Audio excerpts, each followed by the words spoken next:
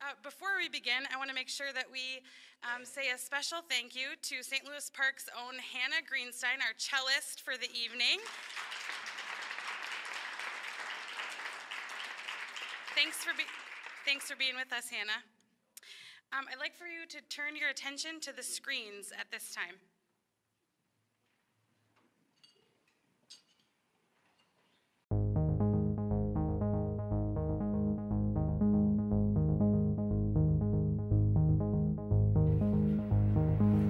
To the Roland and Doris Larson Caring Youth Recognition event. My name is Ian McConnell and I'm a graduate of St. Louis Park High School and was recognized as a caring youth myself in 2000 and 2004. It's a long time ago. The Caring Youth Recognition is one that has been going on for nearly three decades now. Well, it goes back to about 19, um, uh, that would be 1989 when Doris and I used to talk about what we were doing and some of the things we could, uh, kind of ideas to play with. And one of the ideas that kind of persisted with us was that um, there are lots of young people. I was working in schools in that at that Yeah. time and before that, but a lot of kids in school who were doing some wonderful things and they weren't being recognized anyway. And so we kind of picked up on that idea and said, wouldn't it be fun to create a program where we would honor those kids? We would have to identify them in some way, and then we would honor them with an award. And so we talked about that and decided why not have a thing called the Caring Youth Award? Right away, we got going and we started it in our church. And Beth Johnson was in our church. Yeah? And Beth Johnson became a key person. She was something. When she saw the program operating in the church, she said, We got to do this citywide. Yeah. This is so good. You know, right away, the program went citywide in 1990. And I just want to bring uh, Doris into this too. She wishes she could have been here Yeah. today. She couldn't be here today. But um, she's so much into this program Yeah, too. she's and she was a such a part role. of inventing it. Yep. And together we just have had a lot of fun doing that. This event is specifically geared to recognize and honor you, young people, who care in an uncommon and really cool way for other people and for your community. Many of you, I'm sure, are gifted athletes or academics. Many of you are student leaders in a variety of different ways, and all those are really great, but that's not what this event is about. The Caring Youth Recognition is what it sounds like. It's all about recognizing you for being who you are. You are young people who are who are wired up in a particular way to care about others and care for others. And that's a really important gift that you have. And so, adults here in St. Louis Park have seen you, and we want to up, uh, hold you up and, and recognize you for being the kind of people you are. Your teachers, your religious leaders, your elected officials, your parents, your neighbors, adults in this community see who you are, and we want to celebrate you. We're living in a time when kindness and compassion and caring aren't always characteristics that are the most celebrated and upheld. And so, maybe this is the perfect time to set aside an evening to hear stories about the ways that young people in this community of St. Louis Park care for each other and for this community. So, welcome to the Roland and Doris Larson Caring Youth Recognition.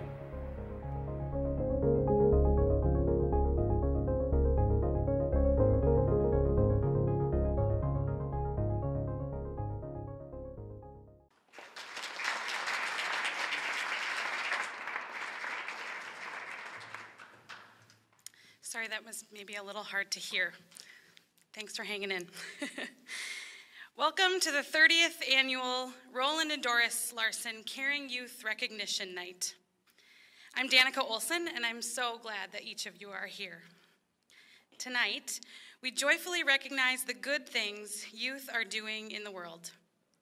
We're delighted to have an occasion to come together and celebrate young people, the young people of St. Louis Park. Tonight, each of you is being appreciated for your character, your caring, and for your innate gifts.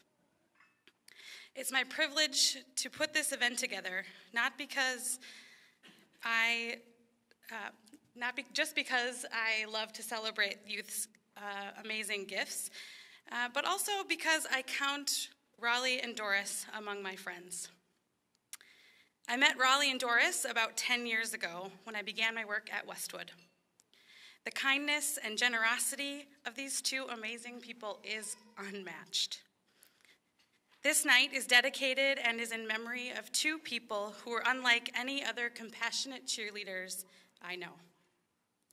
I don't like to speak for anyone, but I'm pretty confident that I could say I could speak for everyone who had the honor of knowing Rollie and Doris, that after time with each of them, each person felt special, like they truly mattered. In a fast-paced world, to feel genuinely heard and celebrated is a rarity. They've since passed and are dearly missed by, though, by many, though their legacy of caring and compassion and also generosity live on in many. We have the honor of having Rollie and Doris's daughter Jane and her husband Mike joining us tonight. Would you stand?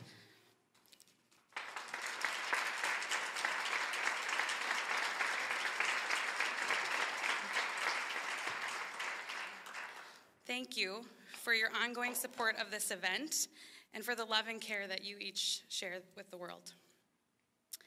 Another Larson family member is joining us tonight is Rollie and Doris's wonderful granddaughter, Michelle. You'll meet her in a minute, but I'd like to share a bit about Michelle before she joins us on the stage. She'll be introducing tonight's speakers. Joy is the first and most important word that comes to mind when I think about Michelle. Her life is filled with it. Her personality and demeanor radi- radiate it. And in fact, her whole life is built on it. The relationship with her grandparents was so special. Michelle is a big believer in following the things in life that bring you joy. In her work as a life coach, she helps people identify what brings them joy and then figure out a plan to get more of that in their life. In addition to being a coach, Michelle is a lover of life, a lover of classic rock concerts from the front row, and lives each day spreading joy to others. It's been an honor to get to know Michelle and a greater honor to have her introducing some other special people here with us tonight. Please join me in welcoming Michelle Stimson to the stage.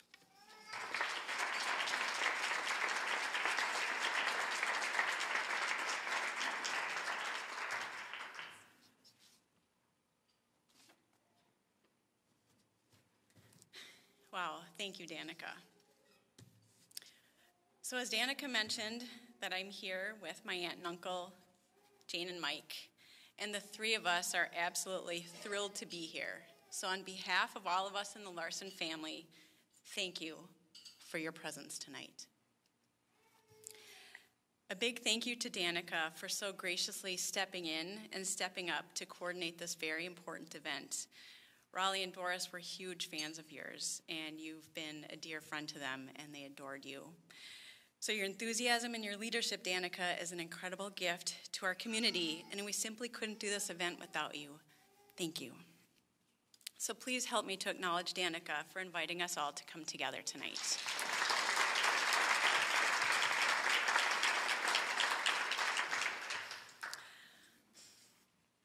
Can't think of a more perfect person to kick off our evening, Richard Leider. Why do you get up in the morning? Well, Richard is the founder of Inventure, the purpose company, where the mission is to help us answer that all important question of why we get up. He's known as a global thought leader of the purpose movement, and you might have even seen his special on PBS called The Power of Purpose, which was actually viewed by millions of people. Richard has done so many amazing things in the world, including writing 10 books and speaking on five continents. But because we're here tonight to honor and celebrate people for who they are versus what they do, I'd like to tell you who Richard is and why we're so grateful and honored to have him here. My grandpa Roland had a long history with Richard, and that dates back to the early 1970s. And ever since those early days, my grandpa called Richard a friend, a colleague, and a mentor. I remember growing up that I would always hear about this cool guy Richard and what he was up to. And I always keenly observed the deep respect and admiration that my grandpa so clearly had for him. My grandparents were so moved by all the ways that young people were doing good in the world, and in the late 80s, they started talking about how they could honor these kids. My grandpa said that he always liked to check out ideas with his buddy Richard, so naturally he shared this idea with him too. But, he told Richard, he wanted to wait a year or so so he could raise some money and get some more good ideas before officially launching a Caring Youth program. So Richard's response, why don't you do it right away? I want to give the first gift to the program. So, my grandpa told the story of how Richard gave a substantial gift to start Caring Youth, which empowered my grandparents with the fuel and the support that they needed right away. And the rest is history. So, not only does Richard know a good idea when he hears one, but he's a true champion of supporting and rallying others to shine their light in the world. And here we are now, 30 years later with over 530 young people already honored and recognized, and another 14 on deck tonight. Richard, thank you. We're truly honored to have you here, so please welcome our dear friend, Richard Leider.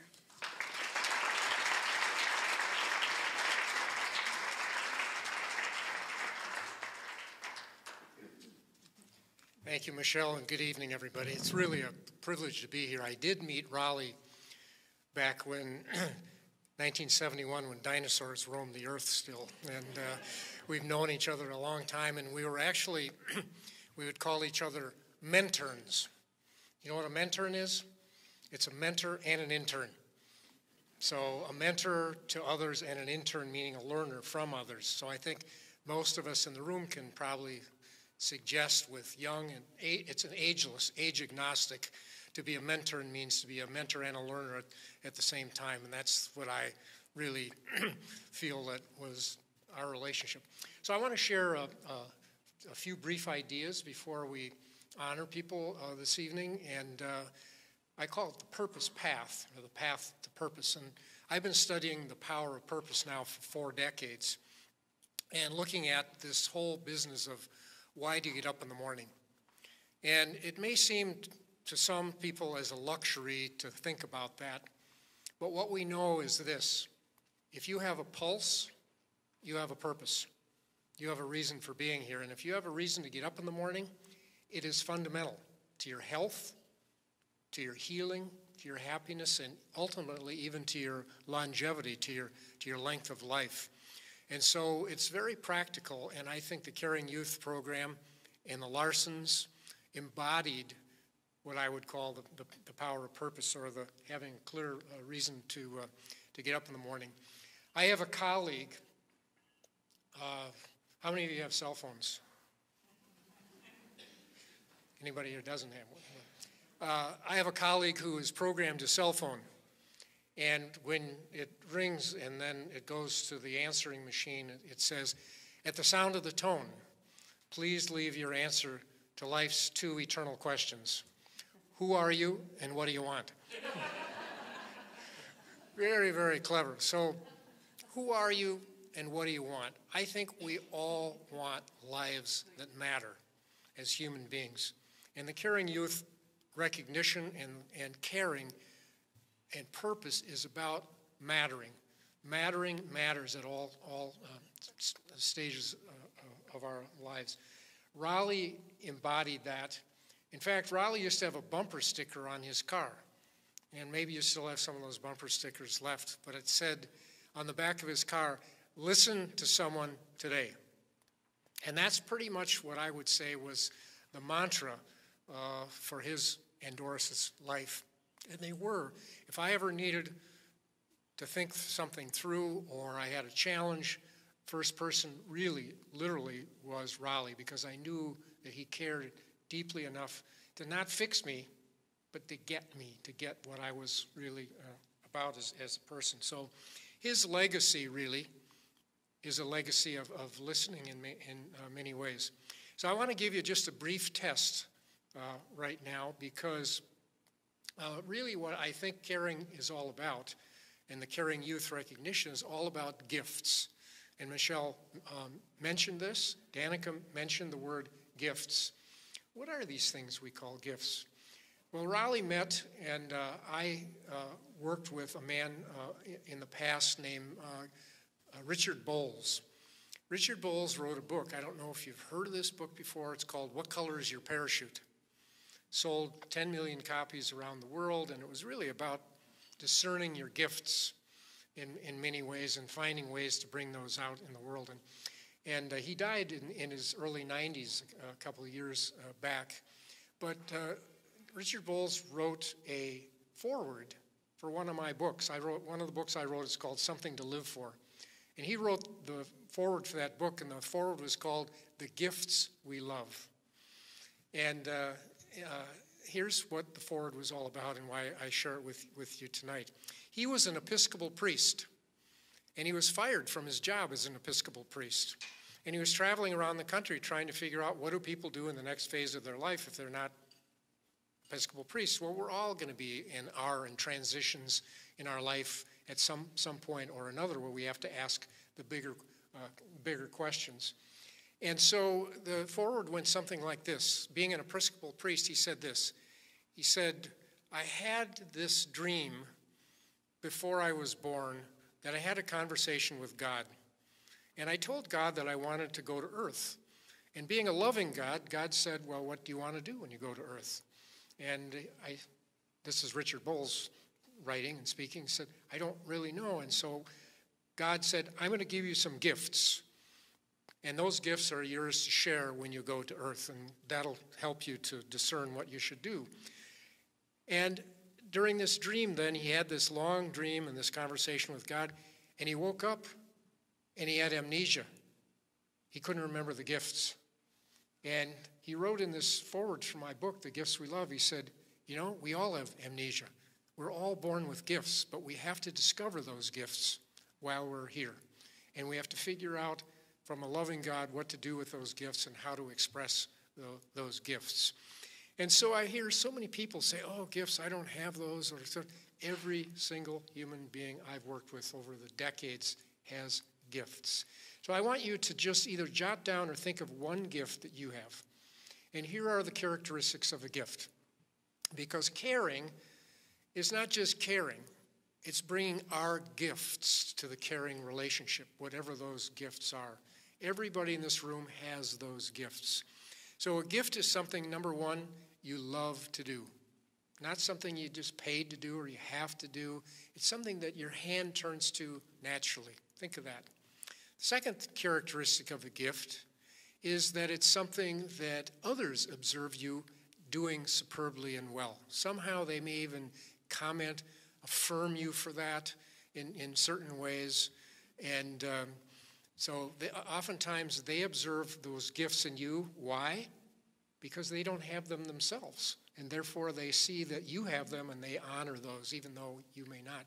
Third thing is a big one, really big thing. And that is gifts are often things that we can't recall learning. I don't know, I've just been doing this naturally and effortlessly my whole life. How many of you have brothers and sisters? Not everybody, but most. Are your brothers and sisters' gifts the same as yours? When did you know, start to notice that they were different? Early on, they may even bugged you, or they may be something that you affirmed, or, or whatever. And so, oftentimes, uh, we can't recall learning. And the fourth thing is we love learning more about it. And so, a gift is something that comes to us naturally. So, I, I'm going to push the pause button here before I pull a few ideas together to, to pull it together here. But I want you just to, to, to take 30 seconds or less and turn to the person next to you and say, One of my gifts that I really love giving is blank. This is no time to be shy. This is a time to stand and take a stand that God gave you this gift, and this is one that you can own. So just turn to the person next to you and either say, I don't have a clue what this guy's talking about, do you? Or I totally get what he's talking about, and one of my gifts is blank. So 30 seconds, person next to you.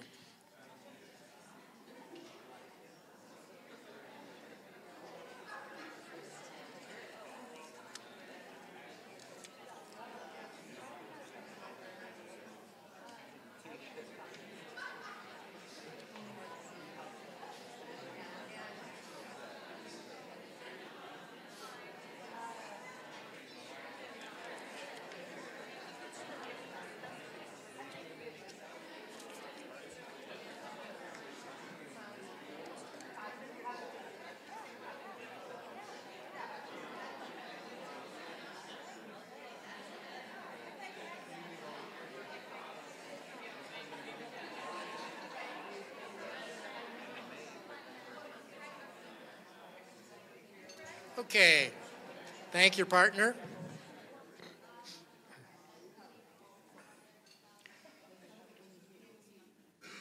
So if you use your, there's a little formula here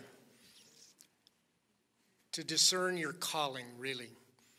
And that is gifts plus passions plus values equals your calling, equals your caring in many ways. If you get up in the morning and you use your gifts, on something that you feel passionate about or called to do in an environment, maybe a tough environment, but an environment where you feel like you have a voice in matters. Now you've got a calling. Calling is that inner urge to give that gifts away. And that inner urge, I believe, is at the core of what caring is really all about. Compassion is the core of caring and, and, and of calling in, in uh, many ways. I used to teach all the time with Stephen Covey, who wrote the book Seven Habits of Highly Effective People. Stephen died about uh, six years ago in a an un- very unfortunate bicycling accident where he spun out and hit his head and died. And before he died, though, he had written a, a book and he called it The Eighth Habit, even though The Seven Habits was this highly sought after book. The Eighth Habit was what we're here talking about right now, and that was finding your voice and helping others do the same. Caring enough to bring your gifts to the world and helping others uh, do the same in, in uh, many ways. I grew up, I'm a homeboy. I grew up in St. Paul, uh, and I went to St. Paul Central High School. And uh, I, was, I got an award from St. Paul Central High School about a decade ago, and uh, when they called, I was sure they had the wrong number because when I was in high school, I, I you know, I, I was uh, not memorable. And I, the award the year before was given to Dave Winfield, the athlete from the Yankees. and the next year was given to Richard Schulze, the founder of Best Buy. And then me. And I said, why? And they said, we want kind of a normal person who doesn't isn't a billionaire and a famous athlete who does gets up and is a working stiff and goes to work every day and you know cranks out and uh, so uh, I was honored to get this, but you have to give a talk. And uh, you have to give a five minute or less talk to the student body and the teachers, and, um, and the press is, is, actually there. So I got up and uh, uh, to give my talk, and uh, my wife, who taught in the public schools for three decades, was sitting in the front row. I looked at the audience and I, and I said, um, my speech is only four words long, so I want you to listen. My wife kind of went, oh, geez, you know, it's like, what is this all about? And so I said, I want you to listen. Here was my four word speech. There was this person. I stopped and I said, You know what I'm talking about? I said, There was this person who really cared enough to step up and helped me during, when I was in high school during a time when things were not easy for me, tough for me. And this was a caring teacher in this, and her name was Miss Hart. And she was in room 308 in Central High School. I can't remember a lot of the other teachers, but Miss Hart I remember because she actually listened. And she, like Rollie and Doris, cared enough to step in there and be present with me and in this, this time. And so I said, for all of you in this room, There was somebody you could call a fortuitous encounter. That's your word to look up tonight, fortuitous. But it means an unexpected encounter where you didn't expect that you would cross paths with somebody and it would make all the difference in the world. And uh, so uh, I want to dedicate this talk to Miss Hart. And I said, but before I sit down, I'm now still at the three minute mark of my five minute talk in front of the student body. I want you to turn to the person next to you, and I want you to say to that person, who, and these are all kids who are, are young people who are there not expecting any work to be done, you know, et cetera. I, I think uh, just turn to the person next to you and, and tell them, who is that person for you, other than your parent or your grandparent or somebody who allegedly was kind of a shoe in, who stepped into your life along the way? And I gave them 30 seconds, and the place it just erupted. So I, the last thing I want to do, and then I'll close off here, is to go back to that same person you just talked to and say, for you, who was there was this person? Who was that person for you? Just turn to that person next to you who made all the difference in the world at a time in your life where you really needed caring. So just turn to the person and just suggest who that might be.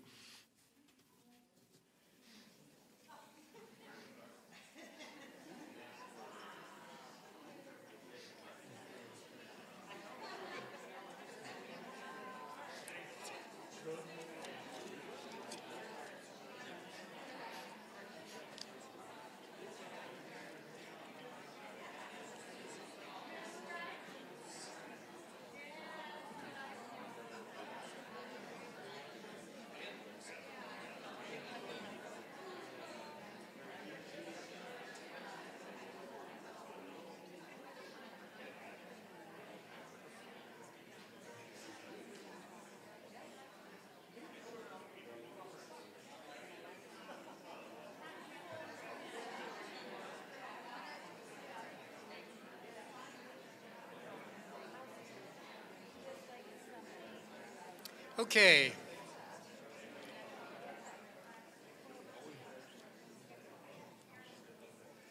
So during that talk, when I ended, I sat down, much to the surprise of the teachers, to a standing ovation from these students.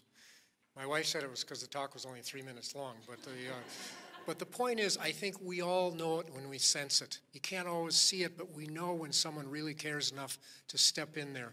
There are 1,441 purpose moments every single day. 1,441 opportunities, moments in a day, to stand in and make a difference in someone's life. To just listen, give a kind word, give a hug, uh, whatever it, it, it, might be at, at the time. So, as a student of purpose, I want to leave you with one quick exercise to think about maybe doing. Uh, by the way, I love writing books. I love reading books. I love going in bookstores. And I was in a bookstore not too long ago, and uh, I walked into, um, you know, uh, the information desk, and I asked the lady at the information, uh, the information desk. I said, "Can you tell me where the self-help section is?" And she said, "Well, if I tell you, won't that defeat the whole purpose?" well, Caring is not about self help, it's about self realization. It's about authentically bringing who you are to what you do from cradle to grave. Youth is a great place to, to honor it, but we need to honor it from cradle to grave in many ways. So here's the exercise to do. What I've discovered is that there's a universal purpose that we all have. You could walk out of here and say, "Oh, I don't have a purpose," you know, or it's a, it's a luxury. It's not a luxury. It is a fundamental, as I said, to health, healing. But here is a default purpose two words grow and give. If you give, get up every day with the intention to grow and give, you will know what, what Rollie and Doris stood for. You will know what the caring youth process, I think, is, is all about. So, what I suggest is when you go home tonight, take out a little post it like this and write down the words grow and give on that post it. And put it on the mirror where you brush your teeth tonight and uh, ask yourself, you know, before you go to bed, and uh, how are you're going to grow and give tomorrow. And when you get up in the morning tomorrow, you look at that post and say, set an intention in the morning. How am I going to grow and how am I going to give today? And then when you go to bed at night, ask yourself, how did I do? Hold yourself accountable. I guarantee you, at the end of five days, you will totally understand the power of purpose and the power of being a caring person because it's a practice. Caring is a verb, not just a concept. So I uh, want to thank you for listening. I want to thank you for the honor of being here at the 30th anniversary and uh, to Danica and to Michelle and to uh, Jane and Mike and the extended Larson family. It's been a real privilege, obviously knowing your folks, but knowing you as well. So thank you very much, and I'll turn it back to you, Michelle. Thank you.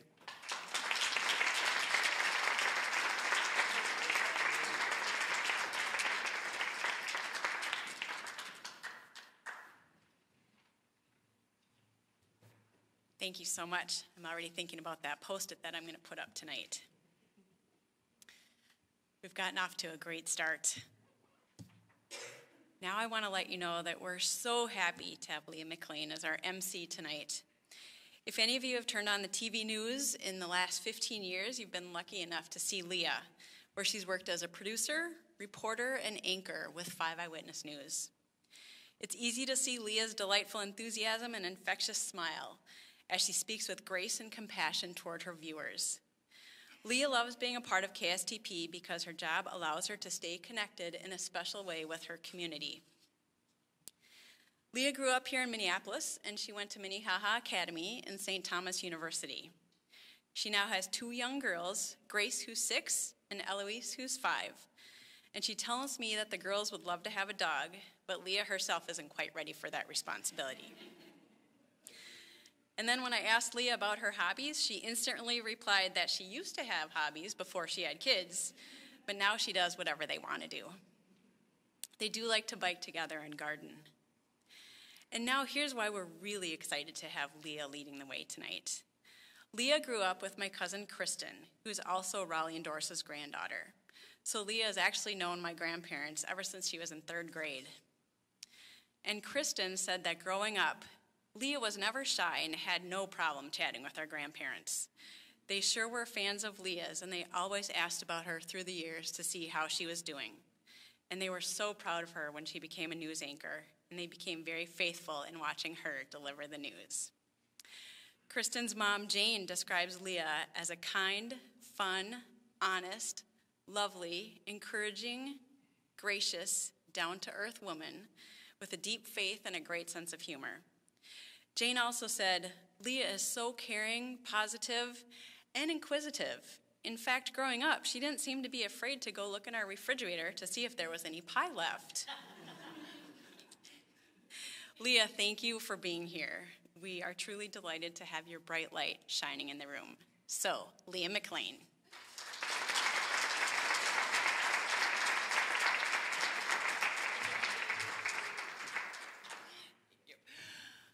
Pie or cookies? I don't know if anyone uh, has ever had Jane Whip's famous chocolate chip cookies. She squishes them. I always say they look like those little those dogs, the squish faces. They. If you ever have a chance to have her cookies, they're amazing.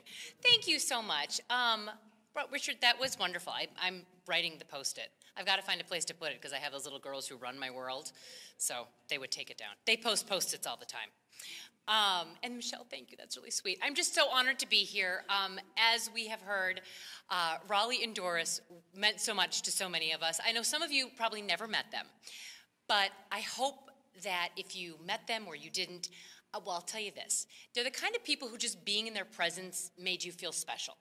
They they just had a way of making you comfortable, making you just feel loved in their compassion they just exuded. Their children have that, their grandchildren have that. I'm just it's a wonderful family. But it made me think of honoring the youth today and how important it is to have these incredible young people have a chance to be recognized and to know for all the grown-ups who are here how important you are in these young lives. I really think that that as a young person trying to build your confidence, figure out what you're doing in life, having some support from an adult in your life is, is important. And those of you who are here who are honoring those young people, I just think you've really touched their lives in an important way, whether you're parents or coaches or just someone else in these young people's lives. I just think you don't get to, to be a caring youth without a little bit of support. I hope my little girls who are five and six years old can someday accomplish some of the things that the young people here have, which I'm very excited to get to. So um, I'm going to share a little bit about the format. I think those of you who are coming up on stage may have already heard some of this, but um, the adult who's recognizing you will come up with you, and then this, make note of this, folks. I've got a couple chairs over here. So when the person who's coming up before you is up, kind of work your way over here and be on standby. Um, then you'll come up here, and your awards are over here on this side. So we'll kind of work our way along this side. And I'm really excited to hear all the stories about what the young people here have accomplished. So we might as well jump right into it, okay? Um, our first, or wait, any other things? Oh, by the way, dessert and coffee still here. Feel free to grab some after we're going. Uh, anything else I need to be announcing? Okay, good. Uh, okay, our first group. Um, Perspectives is here to honor Maria Cassidy. So come on down.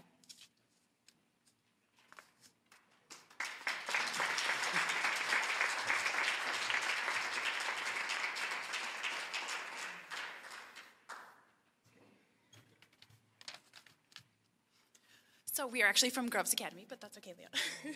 no worries. Uh, my name is Rachel Erickson. I'm an upper school teacher at Groves Academy, and I am excited to recognize Maria Cassidy. Gandhi said, Be the change you wish to see in the world. Day in and day out, Maria exemplifies this change.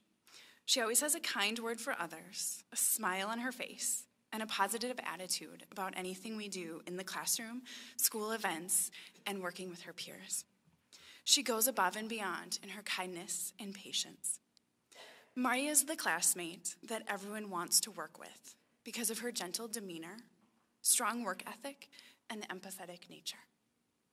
Maria's friends describe her as supportive, understanding, upbeat all the time, always there for us no matter what. And if she were to be an animal, her, she would be, of course, a magical unicorn. Maria consistently demonstrates her caring nature in the classroom and in her extracurricular activities. She's a leader in the Groves Theater Department, Student Council, and on Spirit Squad. She makes all of her peers feel welcome. She leads by example, and she puts in the hard work necessary for all of these activities to be successful. As a youth snowboard instructor in the winter and a teacher assistant in our summer school program, she serves as a positive and encouraging role model for younger students. One of the core values we embrace at Groves Academy and work to instill in all of our students is compassion. Maria embraces this daily. She doesn't seek accolades or praise. This is just who she is. She is caring and compassionate at her core. There isn't just one story that uh, made Maria our caring youth honoree. Her story plays out every day in her consistent kindness to everyone. Her compassion creates a positive school culture, and we are so fortunate to have her in our school community as she truly makes Groves Academy a better place. Thank you, Maria. Congratulations.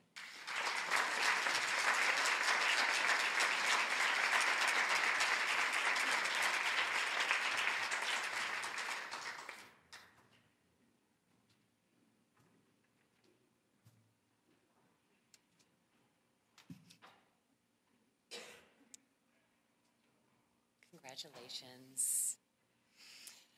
We have the Girl Scouts here now to honor Jacqueline Dempsey-Sack.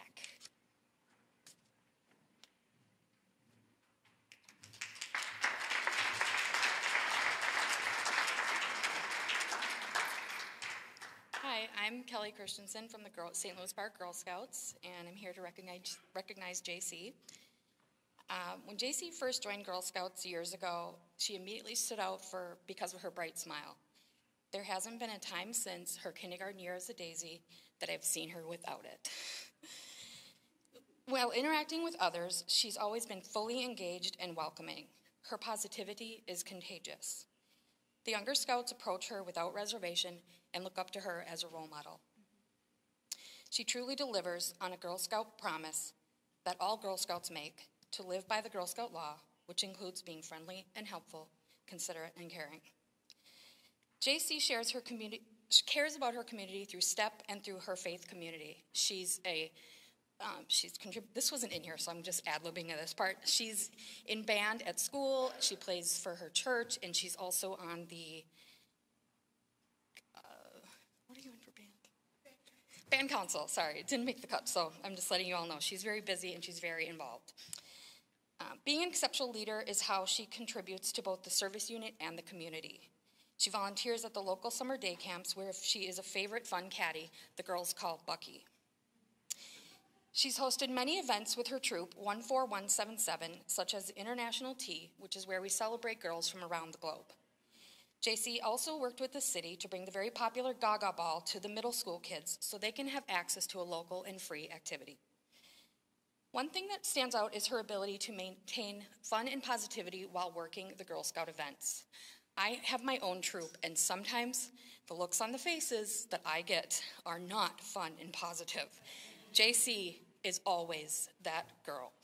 So it's very nice. One thing she does is she's someone you want on your team and in your corner. She will lift you up. She's a positive role model for girls. She's a leader, and Girl Scouts is honored to have her representing the organization. But it's not the only organization that JC is part of. Her and her family are committed to St. Baldrick's Foundation to help fight and raise money for childhood cancer. JC and her brother are on Team Adrian's Bald Beauties and Beasties, where annually they shave their heads to raise money for awareness in honor of their friend, Adrian Mitchell Merrifield, who passed away in 2014. JC's mom captured this year's hair shave on video and, and shared it with those of us on Facebook. Her and her brother had a good time. They were laughing, there was positivity, in a moment where you would think would be somber, they somehow made it seem like they were having the best time ever. In a time in life where outward appearances are very important to kids, and most kids are looking to not stand out, JC saw another cause, and it was someone else. She's out making a difference for something that matters to her, and naturally, she was doing it with a smile on her face. Thank you, JC. Congratulations.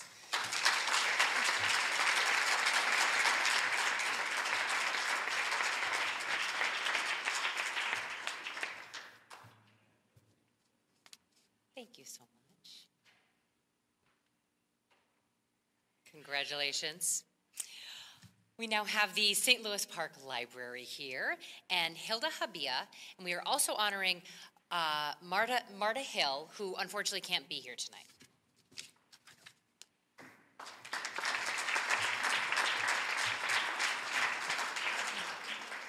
Hi, I'm Jane. I'm from the St. Louis Park Library, and I'm here to recognize Hilda and Marta, who is unable to join us tonight. Marta and Hilda are teen volunteers at the St. Louis Park Library. Last summer, we asked the two of them to take on a special weekly project of designing and implementing STEM pop up programming for young children. The two of them met and chose STEM related activities and experiments for each Thursday morning of the summer. They gave me a list of supplies and then off they went. Each Thursday morning, they showed up with smiles on their faces and an eagerness to get going with their projects. They led all sorts of experiments and projects with kids, such as making marshmallow slingshots, straw rockets, and slime. The families with young children who come to the library looked forward to the weekly outdoor activities with Marta and Hilda. Marta and Hilda's enthusiasm, initiative, and caring led to many happy library kids who adored Marta and Hilda for their warmth and their kindness. They were both responsible, reliable, and communicative, and it was so fun to have them around. Hilda and, Hilda and Marta showed a real sense of caring about their community and wanting to make it better, which they did. They made sure everyone who came to the library felt welcome, which fosters such a great sense of community. We loved having Marta and Hilda be a regular part of the library crew at St. Louis Park Library last summer, and I'm so pleased to honor them with a Caring Youth Award, which they both very much deserve. Congratulations, Marta and Hilda.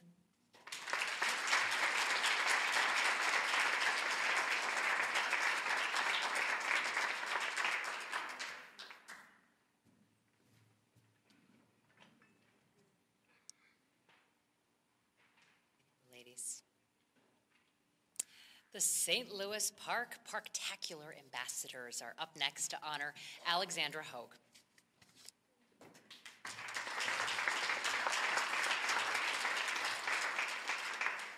Hello, my name is Tammy McKenna. I'm one of the co-directors of the St. Louis Park Parktacular Ambassador Program, and I'm here to recognize Alexandra. Alex has been a committed, caring, and vibrant individual in our program since she was selected in June of last year. She has been a role model for our younger ambassadors and treats all of them like her sisters.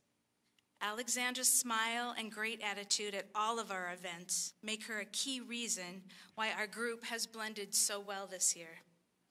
Alexandra is quick to assist others when they need help, and she has jumped into any project with a smile and enthusiasm. The choice was an obvious one for all of us directors. Our group helps out at many activities within St. Louis Park, and we never know what we're going to get and we never know exactly what will happen. But Alexander has been a key, especially for me, knowing that I can say, Alex, can you help me with the younger ones? And she is always quick to grab a hand and say, okay, let's go, everyone. Our program has never selected a middle school student before for this award, but yet Alexander has stood out and was the logical choice because of her kind and thoughtful disposition, her eagerness to help everyone, and being such a great role model for our other ambassadors. She has truly blossomed this year, and we are so grateful for her and her family within our program and all that they have done. Thank you, Alexandra, and congratulations.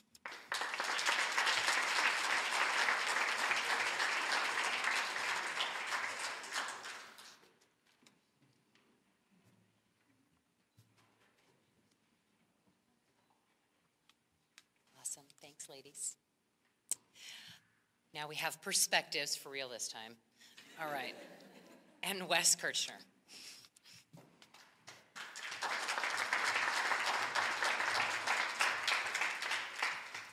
Hi, I'm Chef Dan, or Dan Tobias Kodak from Perspectives, and I'm here to recognize Wes Kirchner.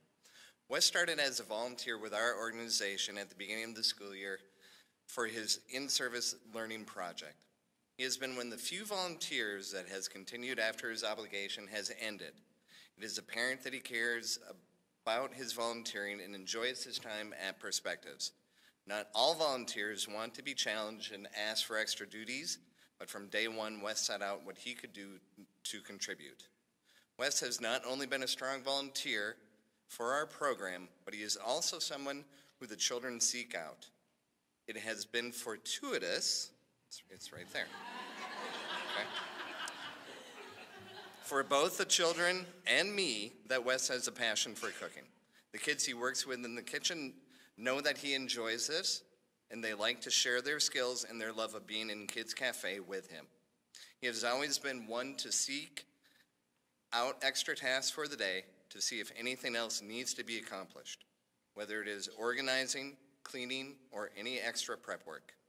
Wes has also been a very good role model for his fellow students from Benilde when they need help to know what to do. I have noticed the other students taking cues from him as to how to proceed with their day. It is, it is his leading by example and his friendliness that makes me honored to recognize him with this award. Congratulations, Wes.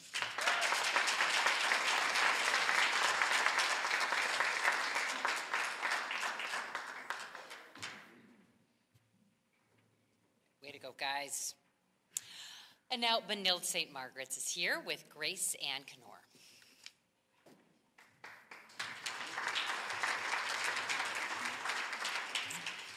Hello, my name is Leah Klister, and I'm an art teacher and theology teacher at Benilde St. Margaret's, and I'm here to recognize Grace Knorr. Grace is currently in my theology class called Faith in Action. The main focus of this class is for students to find an issue that they are passionate about and find out what advocacy work is needed in that area. Grace is one of my students who is passionate about climate change, specifically with lessening the use of plastic. I haven't even taught her for a full semester, and yet she has still made such an impression on me. Grace deeply cares and lives with an attitude of, well, why wouldn't I help? I don't often see this quality in teenagers, and actually, not many adults have this quality in spades either. She and the other honoree that I'm recognizing, Riley, are currently working with the Loop Restaurant at the West End and at Benilde St. Margaret's, the uh, food company, Taher, encouraging them towards moving to using less plastic. They have encouraged them to eliminate plastic straws and start using compostable ones. The students at BSM see how their classmates Grace and Riley have made this change in their own community and the greater St. Louis Park community. Hopefully, other students will see that change can happen. It may start small, but it can grow. Some of Grace's best qualities are balance and openness. What I mean by balance is that Grace listens before she before and after she talks, and she seems to check a situation before she acts. Grace's balance is maintained by her willingness and open-mindedness to listen to all people. She changes her thoughts or opinions if she learns something new. Much like her name, she is gracious in all situations. Everyone feels at ease around her, not because she allows people to do or say whatever they want, but because she's found a way to do what is best in kindness for others in a way that is easy for others to accept. It's magic. Perhaps it's because Grace doesn't seem to judge herself, so everyone else feels at ease. Others don't feel judged by her then either. She is herself completely, and it allows others to be themselves too. Thank you and congratulations, Grace.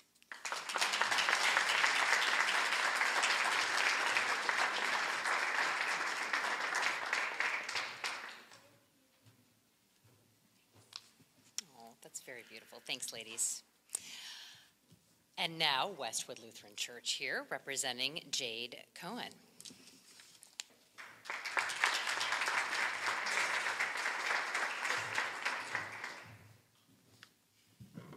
Good evening. My name is Becca Engstrand, and I have the privilege of nominating Jade Conan as a caring youth. Jade is a constant in our Westwood community. She's one of the rare people in our world who listens more than she talks. She never fails to say yes in helping in a variety of roles in our children, youth, and family ministry programming at Westwood. It is not the fact that she says yes that we are nominating her today, though in a job where we depend on volunteers so much, a yes is really important. But rather, we eagerly nominate her because of what accompanies a yes from Jade. Her yeses come with a helpful, committed, and willing heart that has a natural talent for finding opportunities to improve upon programming and operates with expert execution. Jade is a great listener and a servant leader in our community quietly acting and constantly bettering wherever she is serving, with innovative and well thought out ideas and commitments to her tasks. Recently, at a large family party we had, she was our photo booth photographer. All the photos included thoughtful angles, added props, and families with big smiles, and we, uh, we attribute that to you, Jade. She even took it upon herself to document the event with photos of other activities during the evening while there were breaks of families visiting the photo booth. No one asked her to do that, that's just Jade. Messy Worship, which is our family focused worship service, she is committed to precisely timing our PowerPoint slides um, to the pastor's message and improves interactive prayers by thinking ahead and tweaking the process to make sure things go smoothly for all participants.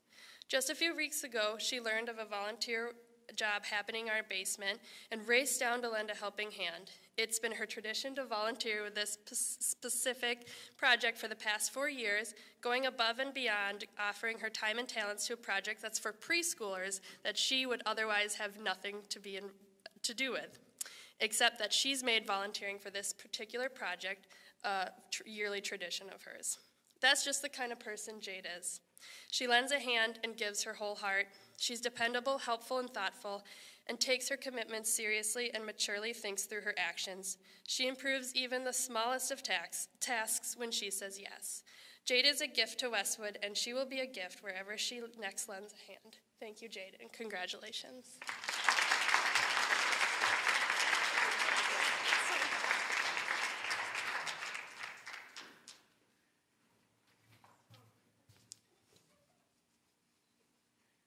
I'm loving hearing all your stories, by the way. These are really wonderful. Um, all right, Westwood Lutheran Church is up again, this time with Olivia Mosby.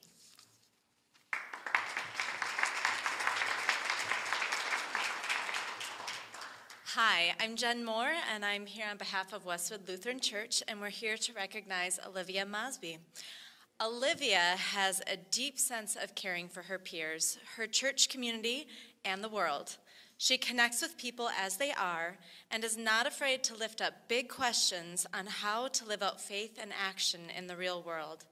She has a deep sense of spirituality and is a committed and caring member of her church and her family. Olivia is quick to offer a smile or a listening ear. She is the first to step up to a task, even if it's not her favorite thing. Simply, Olivia is a light and an old soul who makes caring for others a common practice in her life. Olivia is a leader and a role model in our church. She reaches out to offer help wherever she sees an opportunity.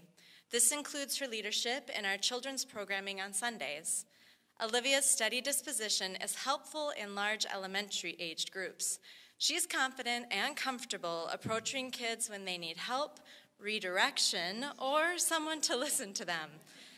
Olivia is a rare youth who can channel the energy of a fifth grade chatty boy to participate in a group sing along with minimal eye rolling. The kids recognize her and trust that she's there for them. When the congregation watches a storytelling video in worship, Olivia is often one of the young actors in the screen telling us the story. She's not afraid to be seen or heard if it's helpful to our Westwood community. Olivia holds herself to a very high standard and expects the same from those she's in relationship with. Whether it is in conversation with her peers in youth group, on a youth trip, or as a frequent volunteer with our children, Olivia cares deeply and gives generously. Olivia exudes respect. She always shows it, finds the best way to express it to others, and guides her peers and our children towards better ways to reflect it. Olivia jumped into Westwood with both feet and a firm commitment. She's a vital member of our community. She participates in countless ways that help Westwood thrive and she's risen into leadership by committing herself by bettering this community. We're grateful for the care and leadership Olivia provides to the people of all ages at Westwood. Thank you, and congratulations, Olivia.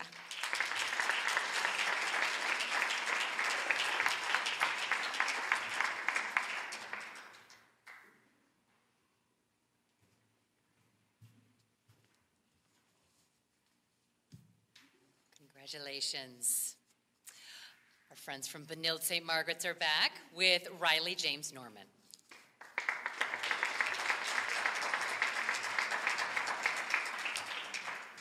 Hello, my name is still Leah. Um, but I'm up here to recognize Riley Norman. Um, Riley is also in my Faith in Action class, and uh, Riley and Grace are partners on a project. Uh, in class, in addition to the advocacy project that they're working on, we spend a lot of time talking about current global issues. We cover a lot, anything from climate change and mass incarceration to femicide and the living wage. The kindness and compassion that Riley seems to have for everything is apparent in the way that he participates in class discussions. He also, like Grace, has the attitude of, well, why wouldn't I help? A rarity, as I mentioned before, in teenagers, but in many people. This also applies to the project that they are doing with eliminating plastic straws, but it goes far beyond that. I have only had him as well for one semester, although I did have him in seventh grade. Um, but I have found that this caring and cash, compassion is his default. As I mentioned, Riley and Grace have greatly impacted a few different places. The Loop restaurant, in, which has five different locations, and also the BSM community through their care for the environment and trying to eliminate plastic. Even though the Loop is not positive that they can afford to switch completely to com compostable straws, they have since started handing out straws only when pa patrons ask. Excuse me. A wonderful change initiated by two teenagers. One of Riley's best qualities is his insatiable curiosity. He asks such good questions. Riley wants to know all sides of an issue the good, the bad, and the ugly before he settles on the most compassionate way to understand something. I could see how Riley could come across as a skeptic, but it's only because he doesn't shy away from asking hard and smart questions in the search to find a better solution. After getting to know Riley, you'll find out it is not skepticism. It's that he wants to find the best way to solve the problem and help the most people affected by that issue. His questions are deeply rooted in his commitment to being the best person he can be and offering himself as a steward of the earth. Thank you and congratulations, Riley.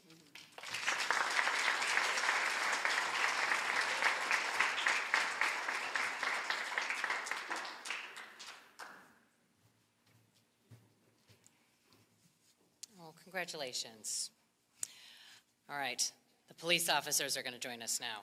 St. Louis Park Police Explorers are here with Isela Perez Cahuajo.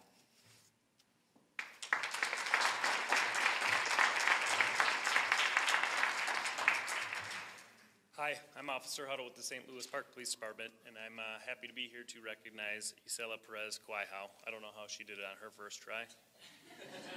Took me like a week to learn that. Uh, Isela is a dedicated member of our Police Explorer program.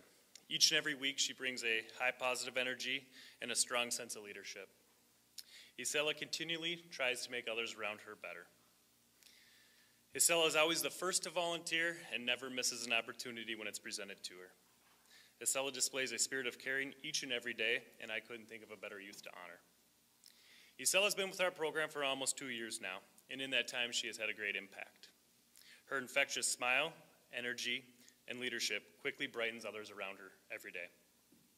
Not only have I watched Isela grow the last two years, I've also seen her spread her caring for others to her other peers and help them grow as individuals.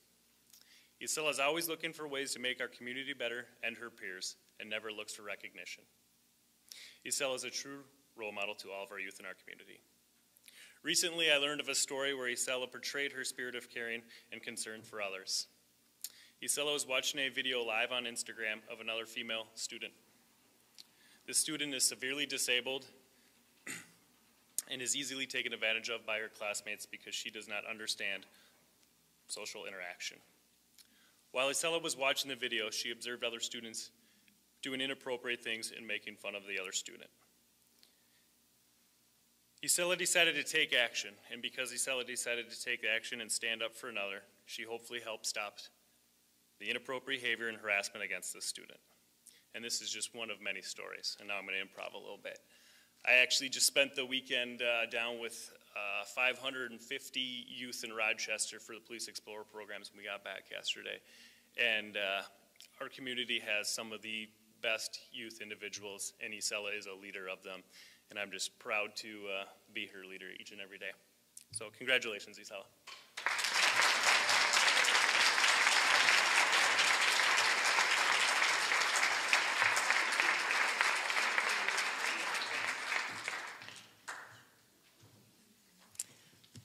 Congratulations. All right, Groves Academy is here with uh, a story about Jacob Peterson.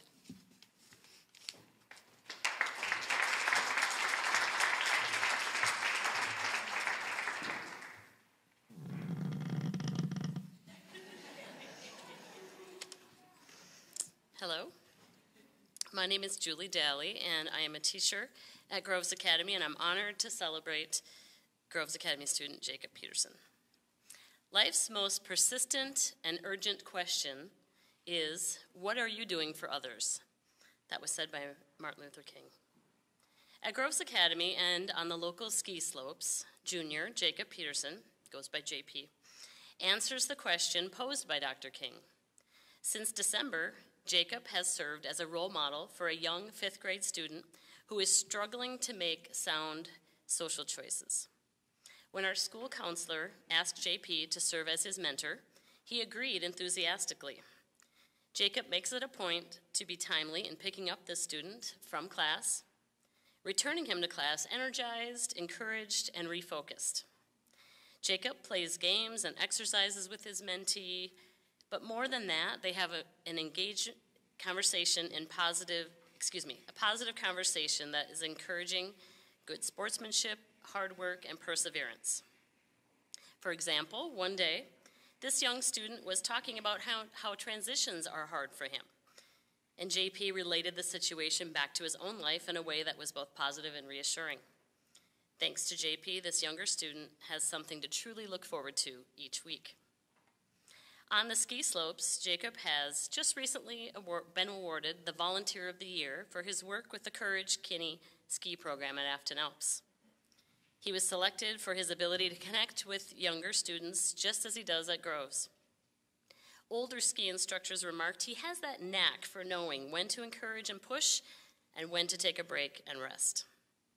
As a leader on the trap team, JP is constantly encouraging peers to give the sport a try while motivating and caring about his team members to give it their best at practices. I have a feeling Jacob will be answering King's call to service throughout his life. I've gotten to know JP as a visitor, regular visitor, to my advisory. He brings a fun energy. He probably wouldn't want me to mention his love of flowery language like a lot of teenage boys, but he has a great sense of humor and brings fun stories and levity to a lot of situations. With great pride, please help me to recognize Jacob Peterson as we celebrate his daily acts of kindness and service to others. And one more thing, JP, I caught, I caught the groundhog.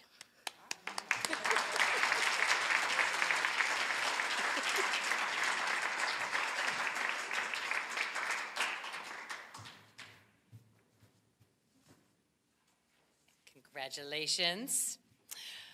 And now Ahuva Roberts is going to be honored by Bais Yaakov.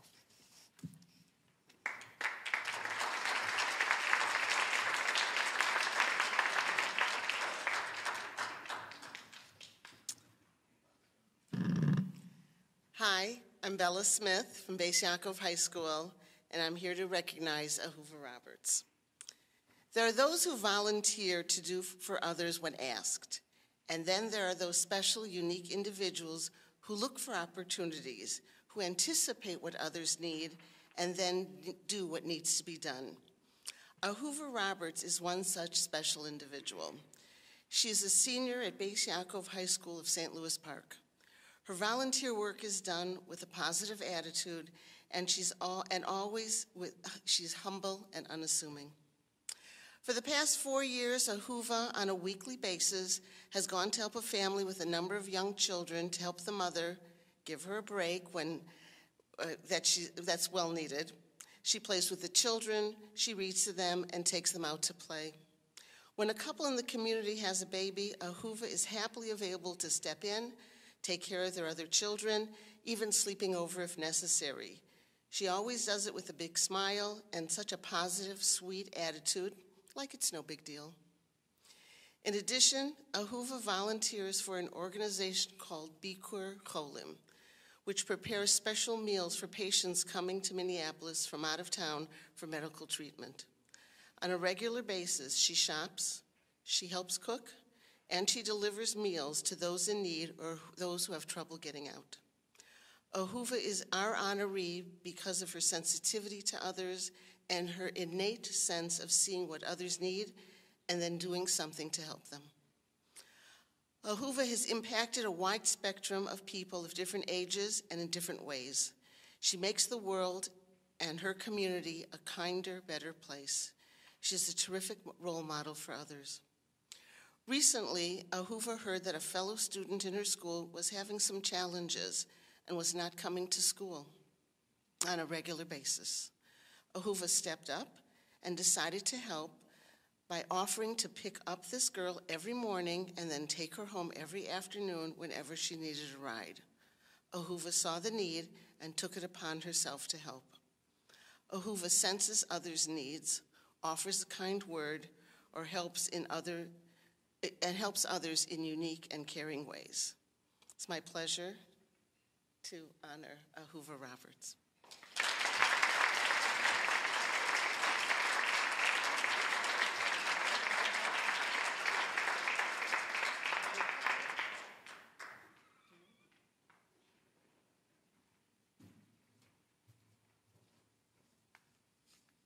Thank you.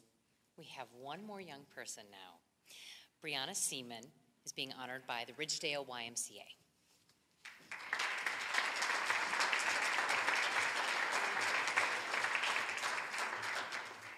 I'm so glad we moved this microphone down already. It's perfect. Um, hi, everyone. I'm Emily Walden from the Ridgedale YMCA, and I'm here to honor Bree Seaman. Bree is an excellent young woman and has come so far from when I met her in an outreach program at the YMCA just a few years ago. When Bree came to the YMCA a few years ago, uh, she began to channel her energy into helping making service projects happen, which was actually my first um, official group working with the Y, and it's extremely memorable in my mind. Um, she agreed to come out that summer, actually, as well, and volunteered our day camp, and she tried out the Leaders in Training Camp. After completing the camp and serving for 40 hours, Bree decided to dedicate even more time volunteering the next summer for 200 hours. Bree serves with uncom- an uncommon amount of compassion and gives selflessly. She thinks about others before herself. We love having her out at camp. Bree has impacted 72 campers and countless staff in her time with Day Camp Christmas Tree. All of those campers experienced Bree's fun personality and how helpful and caring and what a good listener she is. When I first met Bree in my Y-Start program that I mentioned before, uh, she had a hard time focusing with all of her energy. She just had so much of it, and she'd be sitting down all day. And um, we noticed she liked to move around and do a lot of things, so we gave her um, all kinds of things to do. And one of those things was our service project idea. And when the topic of service projects came up, uh, she's our fiercest advocate for um, all these different ideas and serving more. Um, every single day, she'd come in with more ideas or places that she wanted to visit. And every day we had that program, she would ask about the progress of our current project and if we could do anything more um, with all the ideas she had to serve. She's extremely caring and highly motivated um, and a passionate individual. Thank you so much, Bree, and congratulations.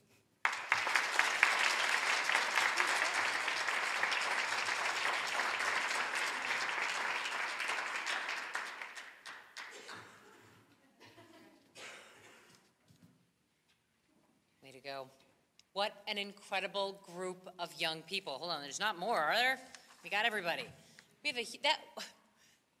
I hope you're all as impressed as I am to hear about all the things that the people in this room are doing to help others around them, to listen to what needs to be done, to take action, and to make change in their community. Thank you for what you do. As a resident of St. Louis Park, I'm really glad to know that there are so many great people living here and making a difference, and all the adults supporting these young people too. Thank you all. Thank you for letting me be part of this. Uh, Danica has a few announcements for us. Thanks.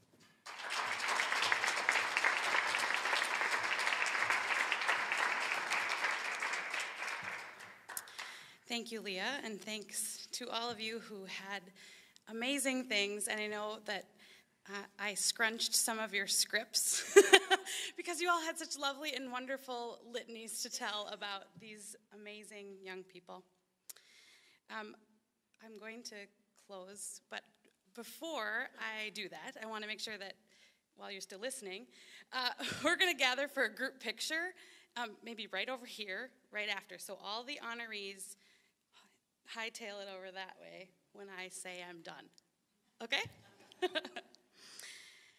uh, wow is the only word that I could think of sitting over here. Um, our young people are so remarkable.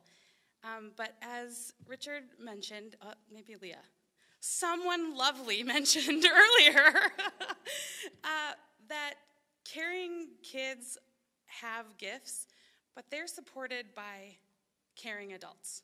So um, we've spent our time recognizing these young people. Um, I also want to say a huge thank you to all of the adults who not only see these kids as gifts, but celebrate them and lift them up. So let's, uh, youth, let's acknowledge the adults in your life.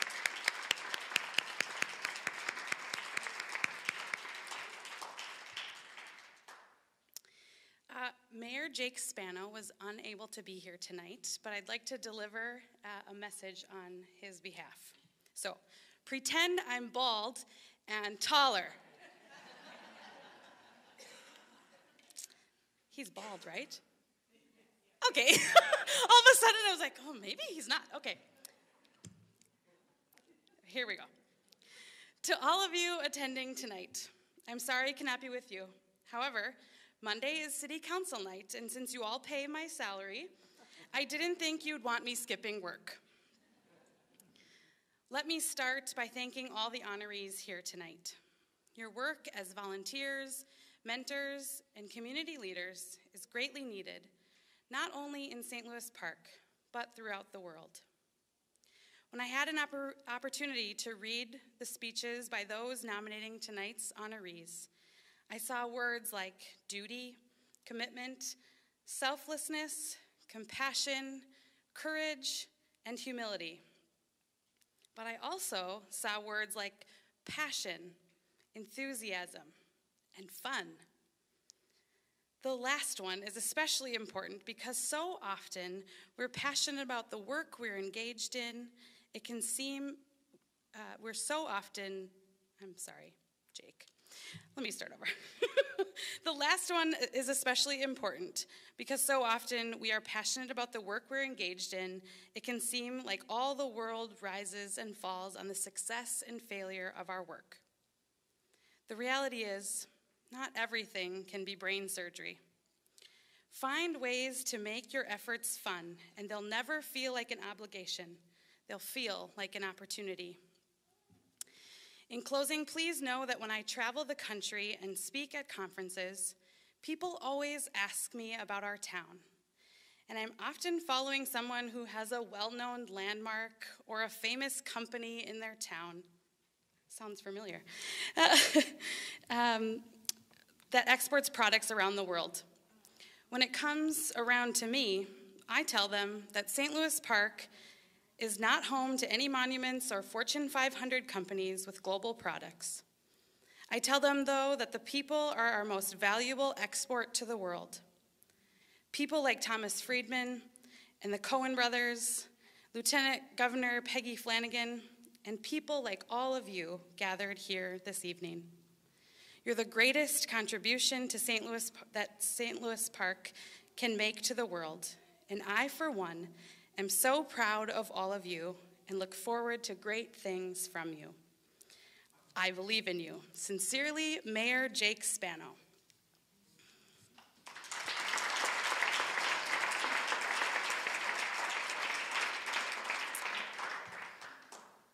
Toward the end of his life, Rollie tacked a handwritten note to his bulletin board with, import, with important thoughts to keep in mind. He entitled it Reminders for Today. It included things like decide to be happy and try to make a difference in someone's life.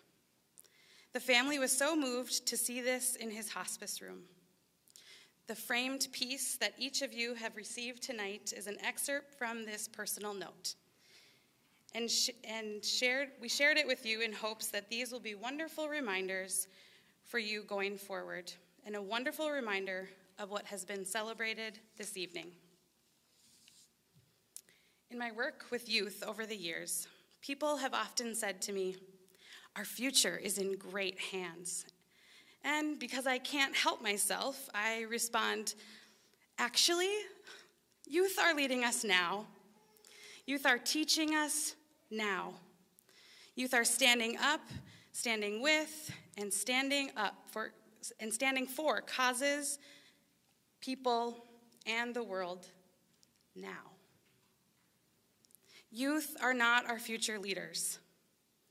Youth are leading us into the future. And it's this event, sorry, it's this event that reminds me just how grateful I am to be led by young people who show us that what matters most is not getting ahead, not gaining power or looking out for ourselves, but rather compassion, kindness, and a spirit of caring that make for a better world. Thank you for joining us for the 30th annual Caring Youth event. We're so grateful you've been here tonight, and we hope that you leave uh, uplifted and also encouraged that our youth are leading us into the future. Thank you.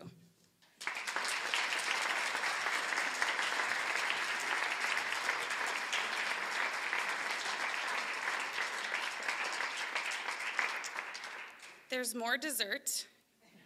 Please eat it. It's paid for.